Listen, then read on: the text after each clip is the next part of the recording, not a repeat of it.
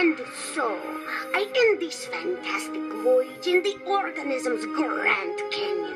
It is hard for any mere mortal to comprehend the infinite amount of empty space